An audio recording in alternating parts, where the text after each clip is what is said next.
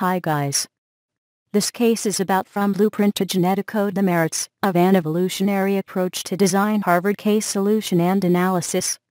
Designing objects is pretty straightforward, but as the world's problems become more complex, traditional design process is being questioned. Many of the products and services created today are more like a complex system than simple objects.